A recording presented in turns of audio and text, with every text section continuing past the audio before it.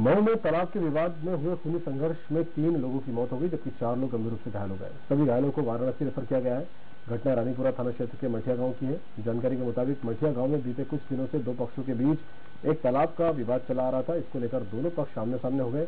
इस दौरान ज़मीन को लेकर कहासुनी हो गई। इसके बाद दोनों के बीच जमकर गाली गलौज हुई और लाठी डंडे चले संघर्ष के दौरान तीन लोगों की मौके पर मौत हो गई, जबकि चार लोग गंभीर रूप से घायल हो गए।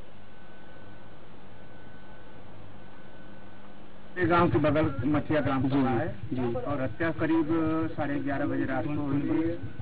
साढ़े ग्यारह बजे रात को हत्या हुई थी। हत्या के बाद हम लोगों को सूचना मिली कि लगभग हम लोग भी पाँच छह बजे करीब यहाँ आए हैं। हत्या के पहले शायद जमीनी विवाद यहाँ पता चला जमीनी विवाद। जिसमें एक व्यक्ति और उनकी पत्नी जिनकी उम्र लगभग साठ साल और पचपन साल के करीब है। इन दोनों की मृत्यु हो गई है।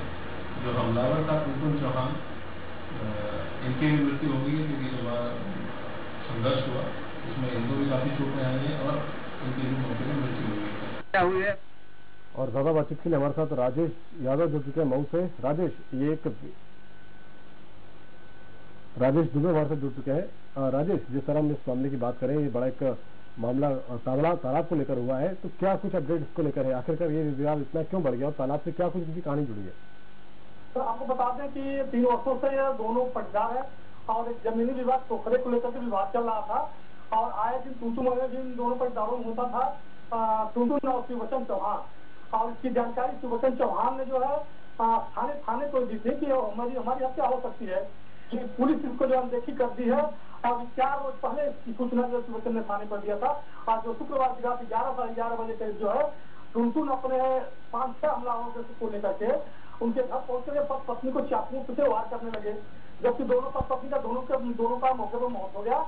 और जब वतन का लड़का जो है, सुबह उठकर सूरज उठा है, देखा है तो टुनटुन जो है पिता को, माँ को और पिता को मार है और सिस्टम में कर दिया है।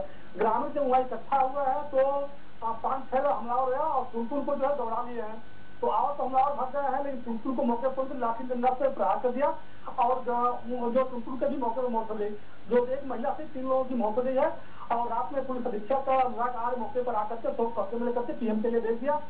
इस समय का मौके पर जो है पुलिस बल तैनात कर दी गई है। और कमिश्नर जो है मौके का जायजा लिया है और वहाँ जो पी एस सी पूर्व एस के नेतृत्व में वहाँ पुलिस तैयार है। क्या लगता है राजेश जिस तरह हम आरोपी की बात करें आखिरकार इतना बड़ा अपराध उन्होंने किया है क्या पुलिस ने कोई एक्शन लिया तक?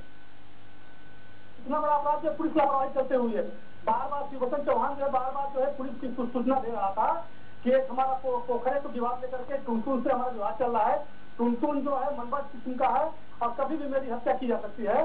लेकिन पुलिस इसको जो है या पुलिस के चलते इतनी बड़ी घटना जो है तीन लोगों की मौत हो गई है और एक जो है वाराणसी के लिए डिफर हो गया है वो जीवन और मौत के साथ जूझ रहा है। अभी तक क्या पुलिस की गिरफ्त में लोग आए हैं आरोपी या फरार चल रहा है और कितने लोगों को पुलिस ने अपने हिरासत में लिया है? अभी तक जो गिरफ्तारी नहीं हो पाई है। पुलिस छानबीन और दबिश दे रही है तो अब तक जो है घंटा बीतने के बाद पुलिस के हाथ कोई भी अपराधी नहीं लगा है। चलिए बस पूरे मामले पर नज़र बनाए रखिएगा। तब तक के लिए बहुत बहुत धन्यवाद।